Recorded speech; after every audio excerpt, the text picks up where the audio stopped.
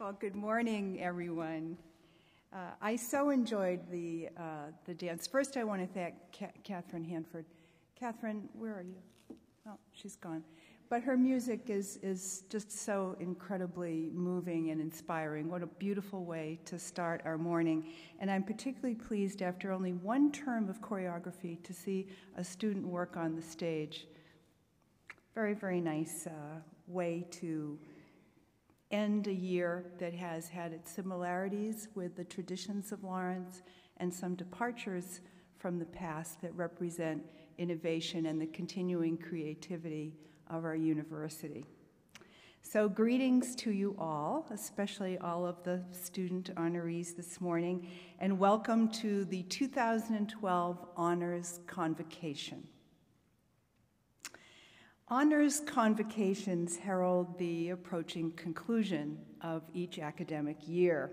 And as such, we greet them with satisfaction and we greet them with uh, the expectation that comes from concluding another very significant phase of our work together. They give us an opportunity to reflect back on what we did particularly well, what continues to need our attention and our improvement, but it's important that we see today as a day of celebration. Sometimes you need to stop and register that you've done particularly well, and there are reasons to celebrate success and achievement. How much has been achieved in this past year and in such diverse domains, as you will soon hear. The students and the faculty who are here today have produced truly superlative work in writing, in research, in areas of service, in athletic commitments, in outreach to nearby communities, but also outreach to the greater world. They have made contributions in outstanding teaching at the levels of practice teachers in some cases and in true master teachers in others. Their achievements reach into music composition and artistic performance, into experimentation, exhibition, and initiatives in innovation. To each of you who has contributed in your individual and powerful way to the success and the vibrancy of Lawrence this year, our thanks, and I certainly commend you and your successful efforts.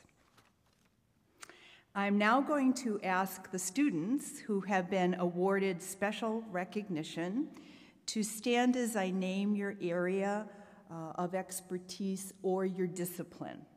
And you might want to pirouette slightly and face the audience if that's comfortable for you so that they can actually see who you are. When you've uh, stood, please remain standing until all of the honorees have been called to stand, and then we'll recognize all of the students with our applause at once. So, the honors awardees of 2012, please stand in anthropology, in art, art history, athletics biology, chemistry, classics, the Conservatory of Music, East Asian languages and cultures, economics, education, English, modern languages, geology, government, history, international studies, literature, mathematics, philosophy, physics, psychology, religious studies, theater, the Riston and West scholarships, students elected to mortarboard, students elected to honor societies, and students elected to Greek societies, and all other winners in all other areas of campus life, community and global service, and all other awards in areas of scholarship and creativity. Ladies and gentlemen, and professors, the 2012 student honorees.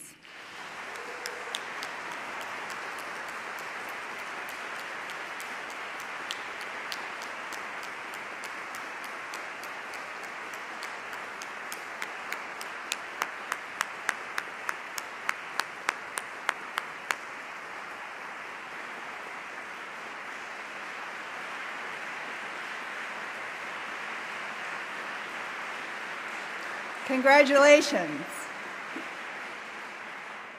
Congratulations to all of you. As I said, it's a day of celebration, so let this sink in. It's a, uh, been a very nervous time for you as well. But I hope you feel very, very good about all that you've achieved. Now, will the faculty and staff please for recognized for their contributions to the quality of a Lawrence education including excellence in teaching freshman studies, in mentoring students, and in community engaged learning. Could those faculty honorees please stand and be recognized?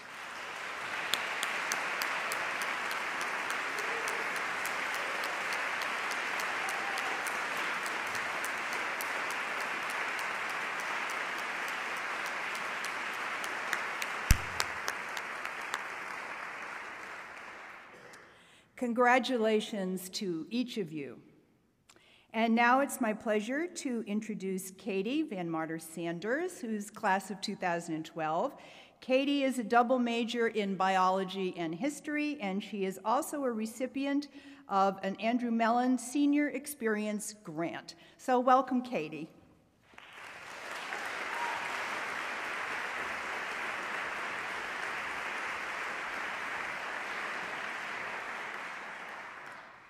As a student, it's sometimes hard to see our professors as anything other than the stable, comfortably tenured people they are today.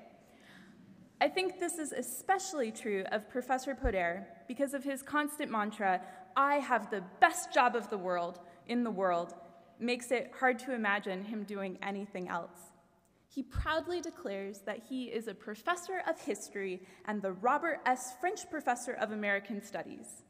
Most of the time, we're kind enough not to remind him that he is the only professor of American Studies at Lawrence. His job satisfaction is an important part of Podair, but it's not my favorite part. Though I find it hard to believe, Podair started out as a lawyer, that lofty and stable profession. No grandmother will ever ask you, What do you do with a law degree?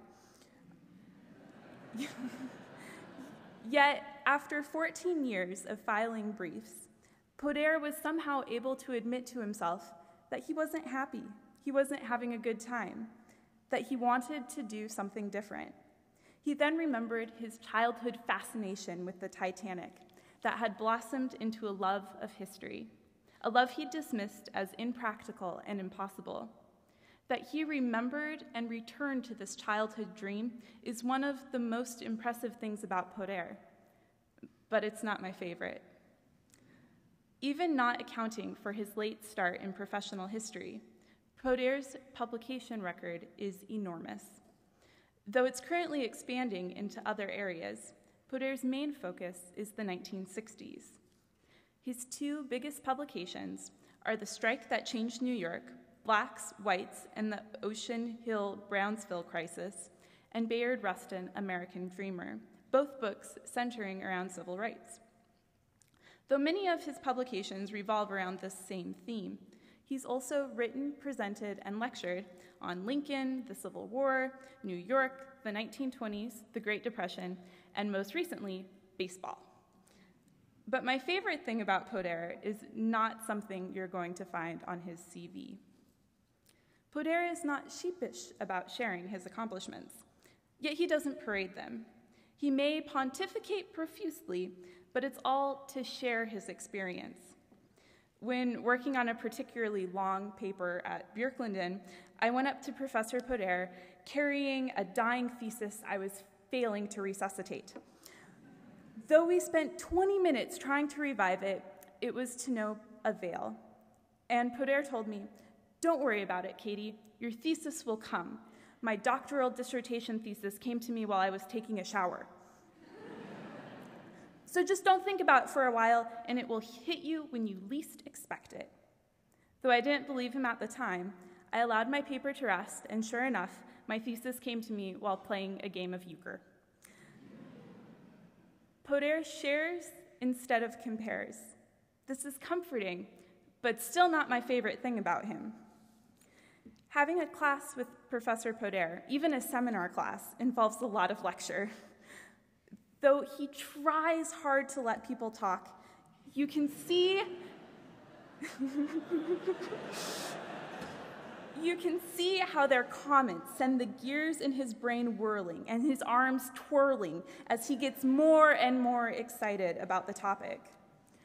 On the first day of my history senior capstone class, Podair had each of us students announce our topic for our final project. We all hastily cobbled together something to say, and truth be told, what we started out with was pretty mundane.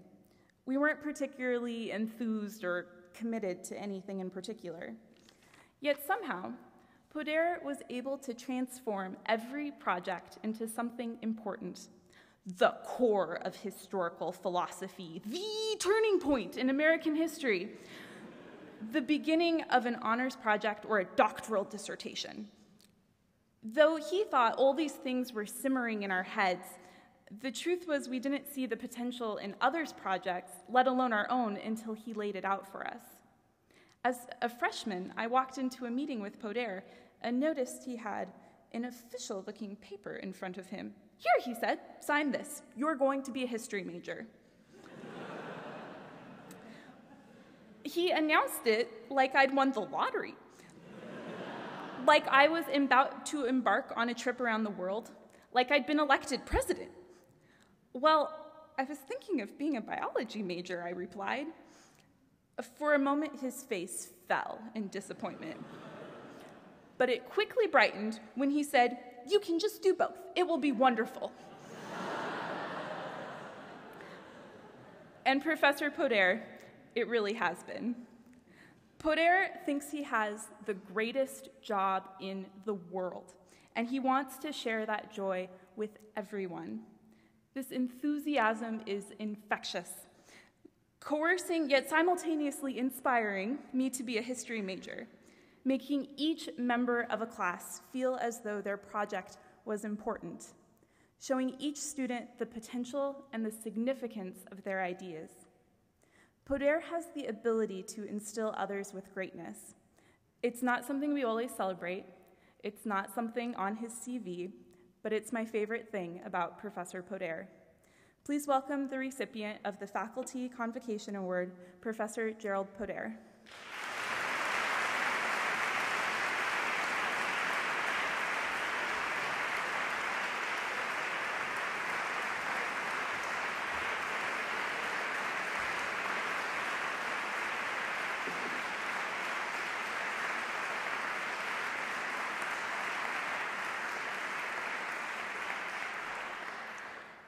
Well, thank you, Katie. Thank you so much for that. Uh, uh, I guess you gave away at least some of my secrets.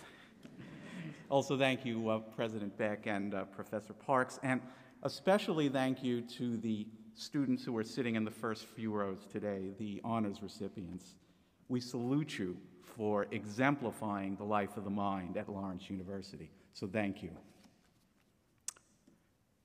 In 1513, Niccolo Machiavelli wrote these words on the coming of evening, I return to my home and enter my study, and at the door, I take off the day's clothing covered with mud and dust, and put on garments regal and courtly, and reclothed appropriately, I enter the ancient courts of ancient men, where, received by them with affection, I feed on the food which only is mine and which I was born for, where I am not ashamed to speak with them and ask them the reason for their actions, and they, in their kindness, answer me.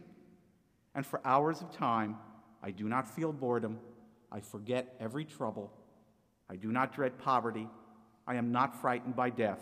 Entirely, I give myself over to them. 500 years after Niccolo Machiavelli wrote those words, a Lawrence University freshman sits in a freshman studies class and asks Plato to explain his idea of justice, asks Einstein to prove his theory of relativity, asks Shakespeare why Hamlet is so troubled, asks Zhuangzi to reveal the way, learning very quickly that while the basic question during high school was what, at Lawrence, it is now a much more difficult one, a much more complex one. Why? In freshman studies, both terms of it, and in every other course this student will take at Lawrence University, no matter what the discipline, the operative question will be why. Also, what, of course, which doesn't go away, but why?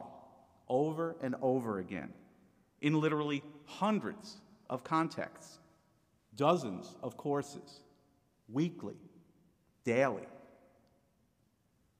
Four years later, that Lawrence University freshman is now a Lawrence University senior and completes a senior experience project, each one of which, while varying in content and by discipline, asks a multitude of interconnected why questions to be pulled and pushed and woven and separated and worried over and stumbled over.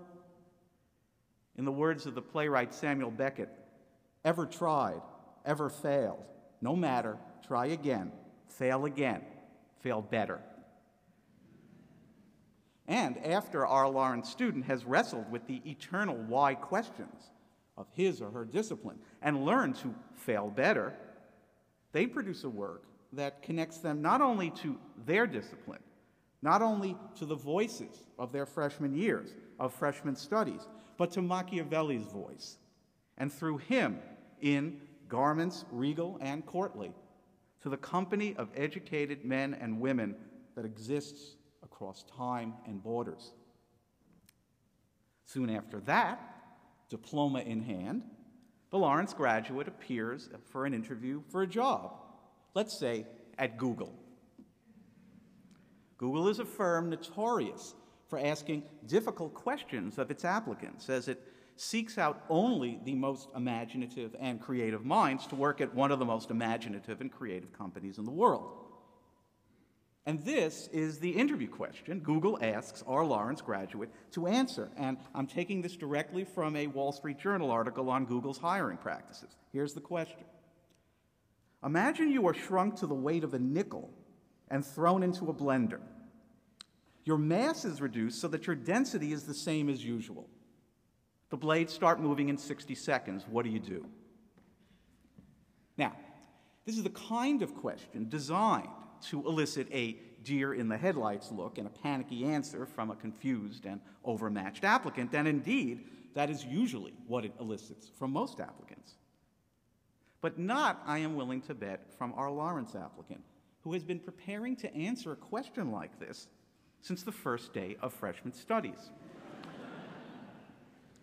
Now, there's no right or wrong answer to this question, as our Lawrence graduate surely understands, although there are better and worse ones. And our Lawrence graduate also understands, as do Google executives themselves, that often the best answers begin with the words, it depends.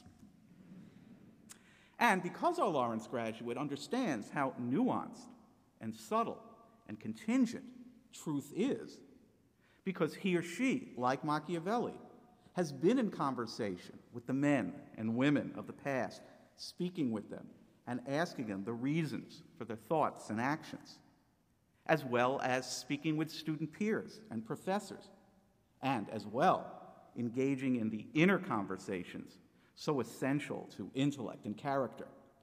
asking the why questions for which indeterminacy and ambiguity are natural answers, becoming comfortable and familiar with the words, it depends. Because of all of this, our Lawrence graduate will get the Google job. We won't know exactly how he or she would answer the blender question, of course, and for the record, Google executives say that the best response they have heard involves reducing your weight so drastically that you would be stronger against gravity and thus be able to jump out of the blender. To which I retort, what if there's a lid on the blender? In any case, you can see the Wall Street Journal of December 24, 2011, if you want more details on this. So we don't know what the answer will be specifically, but we are confident that the answer that the Lawrence graduate offers the, individual, the interviewer will be the product of questions already asked over the course of an education that itself bears the stamp of the great questions, the eternal questions of the human experience. Now, a few months after that, after our Lawrence graduate has gotten the Google job and has worked there a while, comes the real test. The boss walks in. Now, I doubt that is what Google calls them, but even if he's dressed in jeans and a t shirt, and he lets you call him by his first name or even a nickname, he is still the boss. And the boss gives our Lawrence graduate uh, an assignment. The boss is distracted, as bosses often are. The boss is vague, as bosses often are. And he's on a tight deadline, as bosses also often are. Neither does the boss respond well to follow up questions, yet another trait that bosses all over the world seem to share. The boss mumbles something barely comprehensible, says he's late for another meeting, and leaves. And our Lawrence graduate, a few months into his or her Google career, is alone with a few instructions, a few clues, and a poorly articulated assignment which needs to be completed fast. What will happen? I'll tell you. Our Lawrence graduate will figure it out. Our Lawrence graduate will solve the problem. Why? Because from the moment he or she opened up their first freshman studies text, Shakespeare, Zhuangzi, Einstein, Plato, all they have been doing is solving problems, finding the why questions and pulling them apart, challenging themselves in every discipline to take it deeper, to always take it deeper. And after this, they not only have learned a lot, but even more important, in the words of Henry Adams, they now know how to learn. And while I can't guarantee you that our Lawrence graduate will give the answer to that Google assignment, there may not be one, I can guarantee that when the boss comes back and asks how this project is going, the Lawrence graduate will be able to give him answers that are imaginative, creative, and offer a new direction or a novel perspective on the assignment, which is exactly what Google and thousands of other innovative employers worldwide want. And what do Plato and Shakespeare and Zhuangzi and Einstein and Machiavelli, for that matter, none of whom ever heard of a company called Google, have to do with this? Everything. Everything. Because what I've been describing to you is the life of the mind the life every Lawrence student lives in the course of liberal arts study at this university, and a life that is under intense attack today. From politicians demanding that universities be run like businesses, from journalists looking to break the latest story about soaring tuition rates or dumbed down course offerings, from technocrats insisting that only specialized education imparting specific targeted skills will prepare students for the demands of a global economy. And even from other academics concerned only with what can be standardized and quantified and counted. All of them argue that the life of the mind is now a luxury, that it had its time, but that that, that time is over, that it just doesn't work anymore, not for students and not for employers. And of course, the economic times we live in seem to support them in their doubts. Every senior here is familiar with that feeling of gnawing uncertainty. What is my liberal arts degree going to be worth on the market, in this kind of market? Do I have anything to sell? Will a graduate with a more specialized degree beat me out? Has the life of the mind as taught and learned here at Lawrence let me down? Have Plato and Shakespeare and Zhuangzi and Einstein and the ancient courts of ancient men that so captivated Machiavelli, have they let me down? No, they haven't. Because you actually have what employers want exactly what they want. I once shared a cab with the man in charge of corporate training at a company that my law firm represented. Uh, uh, as, as Katie told you back in the day, uh, before turning, turning to academia, I was a practicing attorney in New York. And I asked this uh, corporate trainer, What are you looking for in one of your trainees, the ones right out of college? And then trying to ask answer my own question with my own assumption, I continued, Well, I guess you want someone with a business degree, someone who majored in business, right? He dismissed that almost as soon as the words were out of my mouth. No, no, he said, and you'll have to imagine his thick New York accent. No, no. That's the last thing I want. The last thing. Give me a good, smart, liberal arts kid with an imagination and some creativity, and I can teach him the business in three months. After those three months, the liberal arts kid will run rings around the business major kid. Give me the liberal arts kid every time. He doesn't always need to be told what to do. But of course, that's anecdotal, impressionistic. So let me give you some hard data. This year, the Social Science Research Council published a study that found that students who had mastered the ability to think critically, reason analytically, and write effectively by their senior years in other words, exactly what the life of the mind is here at Lawrence, were three times less likely to be unemployed than those students who hadn't mastered those abilities. It also found that the critical thinkers, the analytical reasoners, and the effective writers, in other words, the liberal arts students, were far less likely, about 30% less likely, to have taken on credit card debt. And get this, were half as likely to be living with their parents. And if there was a stronger argument for living the life of the mind, I'm not aware of it. now, here is another heartening finding about the life of the mind, this finding specific to Lawrence. A recent survey found that by the midpoints in their careers, about 15 years out of college, in other words, when the problem solving and the, skills that the life of the mind teaches uh, have had a chance to grow and mature, Lawrence graduates earned higher median salaries, almost 90,000 a year, than graduates of any other college in the state of Wisconsin, yes, including our neighbors to the south in Madison. Lawrence, in fact, ranked 12th overall among all Midwestern schools, big and small. So, with all the talk about technical education and specialized training and what can you possibly do with a liberal arts degree, when employers actually get to choose, they confirm what my friend the corporate trainer told me in that cab in New York. They'll take Plato and Shakespeare and Zhuangzi and Einstein and the life of the mind over the master of the discrete task because when they have a difficult assignment and not much time and need to be somewhere else in five minutes, they'll want to leave it with someone used to big questions, not small ones, broad perspectives, not narrow ones, and someone who's been asking why and solving problems for years before he or she came on board. They'll want to leave it with Einstein, not Dilbert. And so, Lawrence students, livers of the life of the mind, don't lose faith. When the American economy turns around, and it will, recently, Bill Clinton wrote in his book Back to Work For more than 200 years, everyone who's bet against the United States has lost.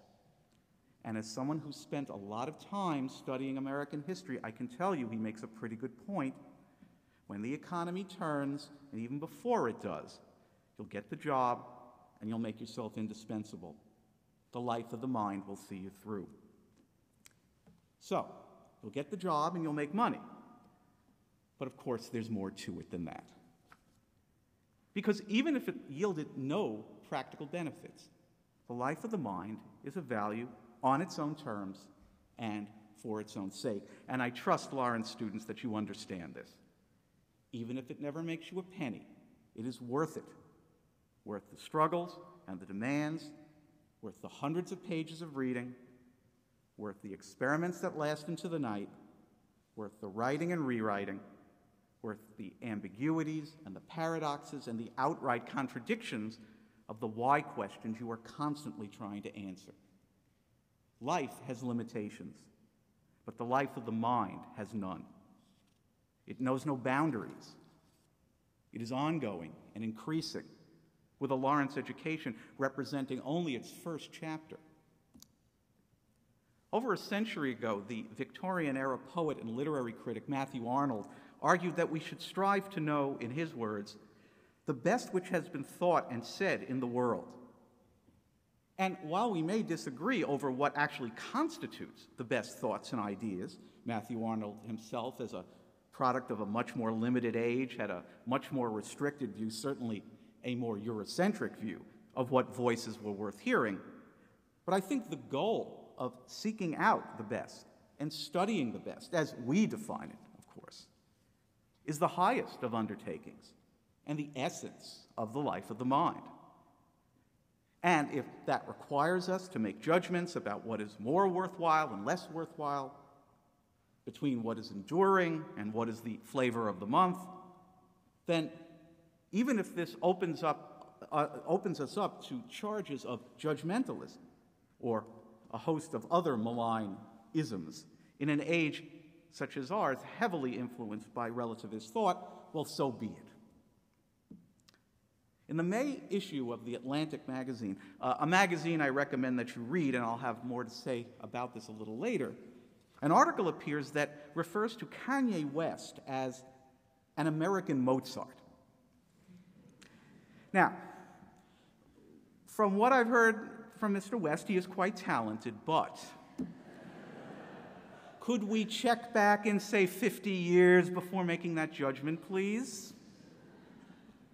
It was once said that, the, that all books are divisible into two classes the books of the hours and the books of all time. And if we broaden our perspective from books alone, this too is what the life of the mind is about. Searching with our eyes, our ears, our minds, our hearts for what will transcend the hours and serve for all time. To guide us, teach us, inspire us, and perhaps, most important, to challenge us. Because the life of the mind, of course, abhors complacency. The life of the mind, then, allows you, forces you really, to be more truly alive. Remember how Machiavelli sheds his day's clothing covered with mud and dust and exchanges it for garments, regal and courtly, more alive than any other time in your lives. And if you don't believe me, then take it from someone who speaks with more authority and is more than a few steps closer to the ear of God, Pope Benedict XVI, who in a speech last year, after using this quote from Plato, Seek truth when you are young, for if you do not, it will later escape your grasp, said, This lofty aspiration is the most precious gift you can give to your students, personally and by example. It is more important than mere technical know how or cold or purely functional data. Students, Pope Benedict maintained, should be seeking something more lofty and capable of embracing the full measure of what it is to be human. They should be set on the path toward truth. The life of the mind, then, is capacious enough to unite Plato and the Pope ancient thought and modern thought, polytheism and monotheism, into the most powerful life affirming impulse that we know.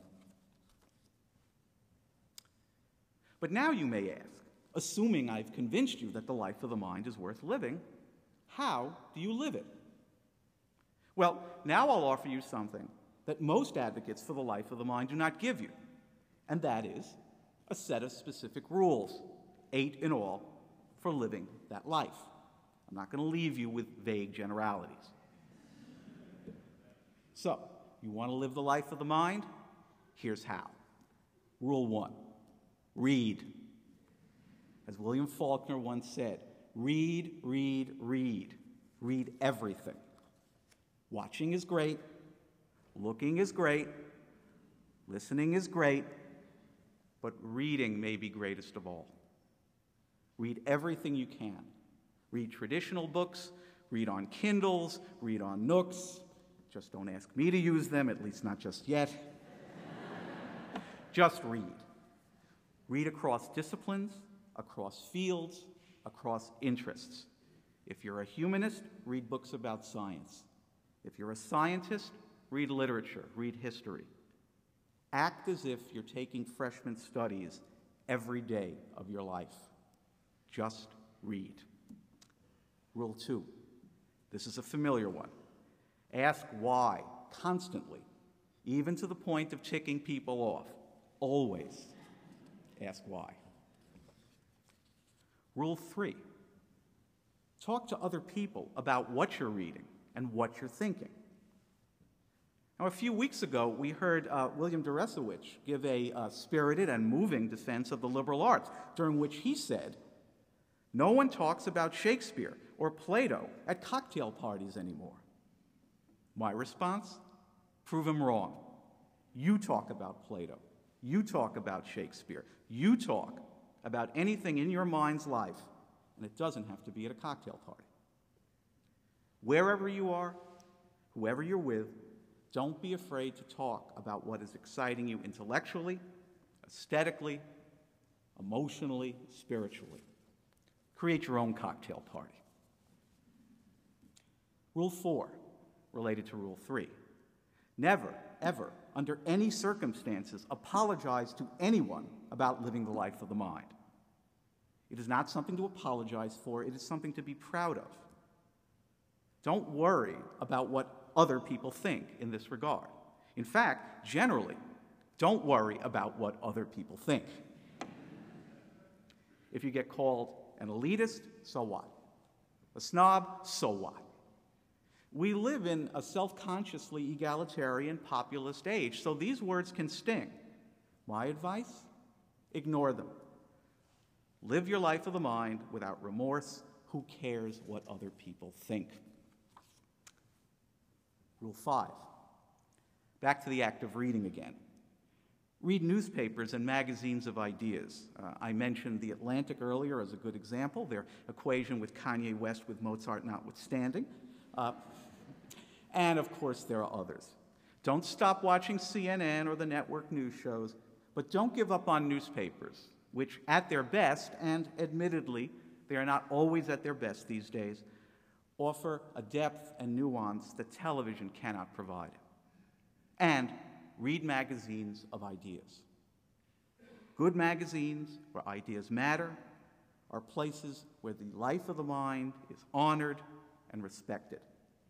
Especially seek out magazines that have book sections like The Atlantic uh, or The New Republic or The American Scholar, which is a gem of a magazine to which our prior convocation speaker, uh, William Deresiewicz, uh, contributes re- regularly. And, if you're particularly ambitious, the New York Review of Books. These magazines bring you into contact through their books with other livers of the mind's life, and thus they connect you to a community of ideas in unique and enduring ways. The next two rules are pretty simple and self explanatory. Rule six always be aware of how much you don't know. Develop and practice intellectual humility. Rule seven this is related to Rule six seek out, talk to, and listen to people who are older than you, no matter how old you are. Odds are they know more than you do. And finally, our last rule, Rule 8 have an interest, at least a little interest, in everything.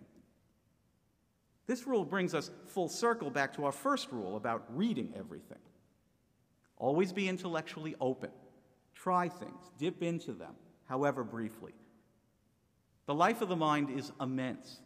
Don't occupy just a corner of it. Force yourself to go places you would not ordinarily go. Cultivate a capacity for wonder at the infinite directions the mind's life will take you. I guarantee you, you will never be bored. Be interested in everything. So, these are eight rules, at least my eight rules, for living the life of the mind. And they describe, of course, the liberal arts as they are taught, learned, and lived at Lawrence University. They will lead you to professional success. To repeat what I said earlier, don't worry, you will get a job, you will be successful, you will make money, and perhaps a lot of money. And I hope you remember us uh, when you do. but they will also lead you, have already led you, to an engagement with the life of the mind that will be even more rewarding and enduring. That's the good news. The bad news is that the liberal arts and the life of the mind are under a state of siege these days, and I don't see things getting better anytime soon by those who say we can no longer afford them. Now, they're wrong, of course. We can't afford not to have them. But you and I knowing this is not enough. We're going to have to fight for the life of the mind. And, and I'm addressing this specifically to the students here, since you have youth and energy I do not possess, you will have to fight hardest for the life of the mind. It's up to you. When you graduate, and for some of you, that's in 10 days, you will be welcomed into the company of educated men and women. And then, as you go forward into what we academics often call the real world, the real fight will begin. Because as you live the life of the mind, you may well be ridiculed, called old fashioned, elitist, snobbish, even reactionary. And if this happens, when it happens, please refer back to my rule number four of rules for living the life of the mind, and I'll refresh your recollections. Rule four don't worry about what other people think. We are leaving Plato and Shakespeare and Zhuangzi and Einstein and Bach and Mozart and Miles Davis and Billie Holiday and John Ford and Akira Kurosawa and John Milton and Langston Hughes and Phillis Wheatley and Lorraine Hansberry and Nelson Mandela and Frantz Fanon and Mary Wollstonecraft and Betty Friedan and Isaac Newton and Enrico Fermi and Marie Curie and John von Neumann and Frida Kahlo and Isabel Allende and Niccolo Machiavelli, with whom we began today, and maybe someday even Kanye West. we are leaving all of these and thousands more in your hands. You are their heirs. Fight for them. Fight for all of them. Fight for the life of the mind. We're counting on you. I'll close with a personal story. When I was thinking about going to graduate school, I visited a campus and met with a professor in his office.